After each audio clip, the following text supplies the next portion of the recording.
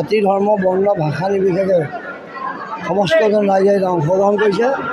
আৰু এই ভাগে আমি সুচাৰুৰূপে চলাবলৈ যাওঁতেন আমাৰ ঢেকীয়াখোৱাবাসী ৰাইজ ইয়াৰ সমিতি সংবাদ মাধ্যম পুলিচ প্ৰশাসন জিলা প্ৰশাসন আৰক্ষী অধীক্ষক আৰু স্থানীয় যিসমূহ থানা আৰু স্বেচ্ছাসেৱী অনুষ্ঠান সকলোৰে সহযোগত আমি পালনাম উদযাপন কৰি আছোঁ। আৰু বিভিন্নজন সহোদয় দাতাই ইয়াত আমাক সেৱাৰ্থীসকলক গ্ৰহণ কৰিব পৰা লঘু আহাৰ বা দুপৰীয়া আহাৰ গধূলি আহাৰ যোগান ধৰিছে বিশেষকৈ খোৱা পানী যোগান ধৰিছে বিদ্যুৎ স্বাস্থ্যকৰ্মী সকলোৱে আমাক সহায় কৰিছে। আৰু সেয়া ভাবিছোঁ যে এই পালনামবাগী প্ৰতিদিনে আমাৰ হাজাৰ হাজাৰ ভক্ত সমাগম হৈছে। এই পালনামবাগী সুচাৰুৰূপে চলোৱাত আমাক সকলোৱে সহায় কৰিবলৈ আমি সকলোজনৰ চৰণতে সেৱা জনাই আমি নিবেদন জনাওঁ।